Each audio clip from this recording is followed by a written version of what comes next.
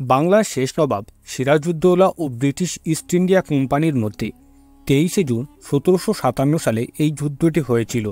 এই যুদ্ধে সিরাজউদ্দৌলা পরাজিত হন এবং ভারতে ইংরেজ শাসন প্রতিষ্ঠিত হয়। এই যুদ্ধটি কলকাতা থেকে প্রায় দেড়শো কিলোমিটার উত্তরে এবং মুর্শিদাবাদের দক্ষিণে হুগলি নদীর তীরে পলাশী নামক জায়গায় হয়েছিল। বারোই জুন সতেরোশো সাতান্ন সালে কলকাতার ইংরেজ সৈন্যরা চন্দননগরের সেনাবাহিনীর সঙ্গে মিলিত হয় এবং যুদ্ধের জায়গায় আসতে থাকে।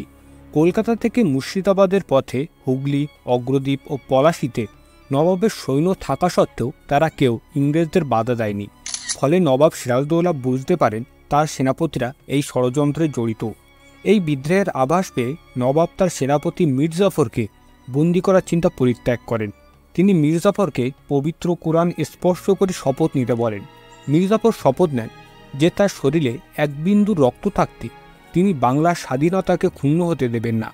গৃহবিবাদের মীমাংসা করে নবাব মির্জাফর রায়দুল্লাভ ইয়ার লতিফ খান মীরমদন মোহনলাল ও ফরাসি সেনাপতিকে সেনা চালানোর দায়িত্ব দিয়ে তাদের সঙ্গে যুদ্ধক্ষেত্রে যান। তেইশে জুন সকাল থেকে পলাশী প্রান্তরে ইংরেজরা মুখোমুখি যুদ্ধে অবতীর্ণ হওয়ার জন্য প্রস্তুত হচ্ছিল। কিন্তু হঠাৎ করে মীরমদন ইংরেজ বাহিনীকে আক্রমণ করে। তার প্রবল আক্রমণে টিকতে না পেরে রবার্ট ক্লাইভ আরামবাগানে আশ্রয় নেয়। রবার্ট ক্লাইভ কিছুটা বিচলিত হয়ে পড়েন। নির্মদন ধীরে ধীরে এগিয়ে যাচ্ছিল, কিন্তু মির্জাফর, ইয়ার লতিফ খান ও রায়দুল্লাহ সেখানে সৈন্য নিয়ে দাঁড়িয়ে থাকে। এদের সাহায্য পেলে হয়তো মীরমদন ইংরেজদের পরাজিত করতে পারত। দুপুরের দিকে হঠাৎ বৃষ্টি নামল। নবাবের গোলাবারুদ বেঁচে যায়। তবুও সাহসী সেনাপতি মীরমদন ও মোহনলাল ইংরেজদের সাথে লড়াই চালিয়ে যেতে থাকে।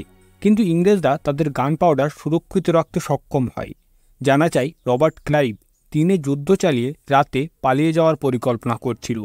কিন্তু যুদ্ধের এক পর্যায়ে কামানের গোলার আঘাতে মীরমদন মারা যান। এই খবর শুনে নবাব ভেঙে পড়েন এবং মির্জাফরের কাছে পরামর্শ চান। মির্জাফর নবাবকে যুদ্ধ বন্ধ করার পরামর্শ দেন। নবাব যুদ্ধ বন্ধ করার নির্দেশ দেন। নবাবের সৈন্যরা পিছিয়ে আসতে থাকে। অন্যদিকে এই ঘটনা মির্জাফর ইংরেজদের কাছে পৌঁছে দেয়। এই সুযোগে ইংরেজরা নবাবের সেনার উপর হামলা চালায় এবং যুদ্ধে জয়লাভ করে। এর ফলে প্রায় দুশো বছরের জন্য বাংলা স্বাধীনতা হারায়। এই কলঙ্কজনক ষড়যন্ত্রে জড়িত ছিল বিশ্বাসঘাতক মির্জাফর জগৎ শেঠ রায়দুল্লাভ কাশিদে বেগম প্রমুখরা। এই ষড়যন্ত্রের শিকার হয়েছিল স্বাধীন ভারতের শেষ নবাব, সিরাজউদ্দৌলা এবং তার বিশ্বাস্ত সেনাপতি মীরমদন ও মোহনলাল। এরপর এই সাম্রাজ্যবাদী শক্তি দীর্ঘ একশো নব্বই বছর এই দেশ শাসন করে, কোটি কোটি টাকার সম্পদ ইংল্যান্ডে পাচার করে।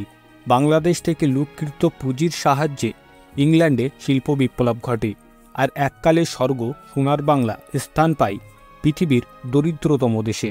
এই যুদ্ধ জয়ের পর বাংলা ধীরে ধীরে ইংরেজদের অধীনে চলে আসে। বাংলাকে জয় করার পর ইংরেজরা পুরো ভারতবর্ষ এবং এশিয়ার অন্যান্য অংশ নিজেদের দখলে নিয়ে আসে। পলাশির যুদ্ধের এই কলঙ্কজনক ঘটনার মাধ্যমে কলকাতায় একটি নতুন পুঁজিবাতি শ্রেণির উত্থান হয়। ইংরেজ ও তাদের এই দেশীয় দালাল গোষ্ঠী দেশবাসীর উপর একের পর এক অগ্রাসন চালায়। এর ফলে দেশীয় সংস্কৃতি ও সামাজিক জীবনে বিপর্যয় নেমে আসে।